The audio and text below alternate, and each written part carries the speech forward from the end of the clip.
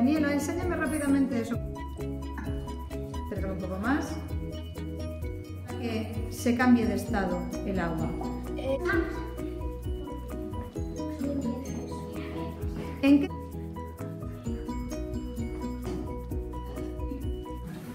Dale la vuelta a ver qué ha pasado. ¿Qué ha pasado? ¿Qué pasó, Grayson, con el eh, vapor? Se convirtió en agua. Se convirtió en agua. O sea, cambió de estado. a líquido, ¿De qué estado era el vapor? en gaseoso, ¿Y se convirtió? en líquido.